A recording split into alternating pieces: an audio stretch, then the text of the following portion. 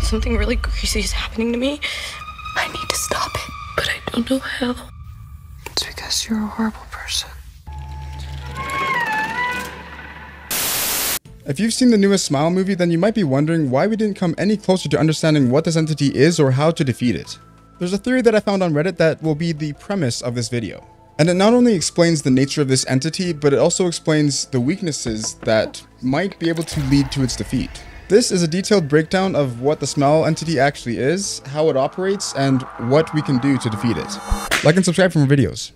At first glance, the smile entity might appear to be a supernatural curse, but this theory suggests that it's actually a biological organism with electromagnetic capabilities. This creature isn't just a phantom or a demonic being, but a conscious parasitic entity that has evolved to control its host by manipulating electromagnetic fields in the brain. It's capable of altering perceptions, including hallucinations and controlling behavior, all by tapping into the brain's natural electrical impulses. However, while it believes itself to be an unstoppable curse, this belief is a product of its own self-delusion, and its power actually comes from a misunderstood biological process. This theory is making the argument that this smile entity isn't a demon like what most people think it is, and that might be the case. But what exactly are the traits that makes something a demon? Demons are often depicted with having supernatural powers, being active mostly at night, having a bad smell, the temperature dropping when they're close by, they have an endless amount of stamina, a high pain tolerance, they don't need sleep. They also have emotions, knowledge, self-awareness, and consciousness. The Smile entity doesn't have all these traits, but does it need all these traits to be considered a demon? Or perhaps it is only one part of a demon? This theory never said that it wasn't a demon at all, but it is more than just your average demon, and it works completely different from demons in some cases. For example, the Smile entity doesn't just come out at night. In fact, it doesn't seem to matter what time of day it is at all, which makes it even more terrifying. It is also only able to manipulate the infected user, which makes it have limitations that a regular demon wouldn't have. The Smile creature operates as an electromagnetic parasite, controlling its victims by latching onto their brains and controlling their neural pathways. This allows it to create vivid hallucinations, amplify fear, and manipulate the body as if it were a puppet. While it's convinced itself it needs trauma to feed, this is likely an addiction to suffering and not a biological necessity. Evidence of its delusion is seen in the film when the creature doesn't simply take control and kill. It orchestrates elaborate scenes of torment, like forcing its host to make a phone call to draw in the next victim. It could easily jump to a new host at any moment, but it chooses not to, believing that prolonging fear and trauma is the best way to sustain itself. However, this is a self-imposed limitation. A crucial piece of evidence is how the creature tricks the main character in the first film into thinking she has defeated it, only to manipulate her into leaving isolation and calling someone to spread the curse. If the smile monster could control the host indefinitely, it would simply make her walk to the next victim and pass the curse on. But it doesn't because it can't hold the host for too long. While some might argue that the monster does this because it enjoys the process, the reality is more complicated. The creature itself believes that it enjoys the process when in fact it's constrained by its own biology biology. The process works for it, so it doesn't change it reinforcing the one-track mindset that proves it lacks tactical thinking. It's locked into this behavior because it has convinced itself that this is the best way, when in reality it's just limited by how much control it can exert. I actually really like this idea of the electromagnetic parasite that this theory suggests. And it does make complete sense because this entity can make you relive your worst memories over and over again. The creature also seems to have unlimited knowledge of the person who is infected. And it says things like, I've enjoyed living inside you, and stuff like that, as if it creates a temporary home in the mind of the infected individual. However, I don't necessarily believe that this smile entity is feeding itself off of trauma and fear due to a self-imposed limitation. We can clearly see in the first film that the smile entity's true form is a lot smaller than the entity in Smile 2, indicating that this entity is physically benefiting from the fear and trauma that it feeds itself on, with each person it infects. It might also be the case that it gets stronger depending on the will of the person being infected. This can be proven after how much bigger the entity gets after feeding itself to Rose. Rose did have a strong will and she really fought hard against the entity before her time was up.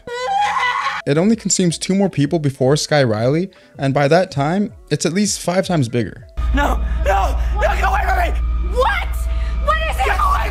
It could also be due to the amount of trauma that someone has as well. While the smile entity does have a clear biological process, the entity is also driven by a complex psychology. It's convinced itself that it's a demonic and cursed being, something supernatural when it is actually just a biological organism. The hallucinations it forces on its host, like entering the body through the mouth, further fuel this belief. The creature's psychological profile points to an addiction to fear and control. It derives pleasure from its victims' suffering, prolonging their fear because it enjoys watching their mental state deteriorate. Over time, this addiction has become so ingrained in this entity that it actually believes that it needs trauma to survive, even though it likely does not. This psychology creates a predictable pattern in the creature's behavior. It does play with its prey, drawing out their torment not out of necessity, but because it has developed an emotional need for it. This makes the smile monster more than just a predator. It's a sadistic entity that derives gratification from its victim's suffering. I have no doubt that this entity feels pleasure from the suffering of its victims. But I also believe there's a difference between surviving and thriving.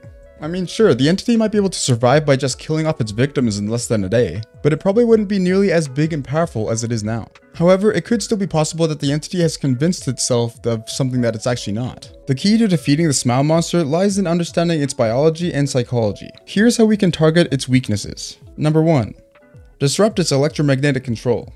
The smile monster merges with the host brain by manipulating its electromagnetic fields. During this integration phase, it is vulnerable to disruptions in these fields. By inducing a seizure or using EMP-like devices, we can overload its control and sever its connection to the host. This is not just a disruption of the brain, it's a direct attack on the creature itself. Number 2. Exploit its single-minded focus. The smile monster can only control one host at a time, and this focus limits its potential. Knowing that it can't spread to multiple people, we can anticipate its moves and trap it during its integration phase. Almost time, Rose. The creature's belief in its own superiority does make it predictable, and by using this to our advantage, we can disrupt its control when it is most vulnerable. This one might be a plausible theory if it wasn't for the fact that the second Smile movie hinted at there being more than one host at a time. Number 3. Challenge its self-delusion. The Smile entity believes that it must use trauma and fear to survive, but this is not a biological necessity. By disrupting its psychological attachment to torment, we can weaken its power over its victims. It is a biological organism, not a demon or a curse. Understanding this allows us to target the creature's real vulnerabilities rather than being caught up in its supernatural imagery.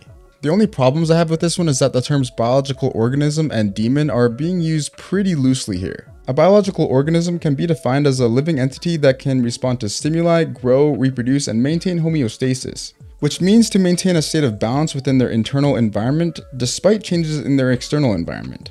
Now, if we look at the raw definition of a demon, it describes demons to be an evil spirit or devil that can be thought to possess a person or act as a tormentor in hell. With these two definitions, I would argue that it is both a biological organism and a demonic entity, because it can grow and reproduce when responding to stimuli, and is a devilish creature that can possess people by manipulating them and tormenting them with their own past memories. The Smile Monster is a biological and psychological hybrid, a parasitic entity that thrives on its victim's fear but is ultimately vulnerable to its misunderstanding of its own nature. By targeting its electromagnetic control during the integration phase and exploiting its psychological dependence on trauma, we can sever its connection to the host and defeat it. It may believe itself to be indestructible, but its reliance on prolonged torment and its self-delusion are its greatest weaknesses. We now know that it is not invincible, and with the right strategy, we can finally bring it down. But how though? This theory doesn't really explain how we can target its electromagnetic control, or how to exploit its psychological dependence on trauma. But here's how I think we could defeat it. If this entity truly is a parasite that uses electromagnetism to control its victims, then why not use electromagnetic fields to destroy it? There is a study done by PubMed which concludes that exposure to electromagnetic fields from things like your smartphone can damage or kill single-celled organisms. Microwaves can also be used to kill certain types of parasites. However, for the monstrosity, you would probably need the biggest electromagnetic field you could get your hands on that can generate insane amounts of microwaves. What do you guys think? Have we cracked the monstrosity's weaknesses, or is there something else that we should consider? Swap your thoughts in the comments below on what you think. I've swapped my thoughts, and if you want to see my thoughts on Smile 2, then click right up here, and I'll see you on the other side.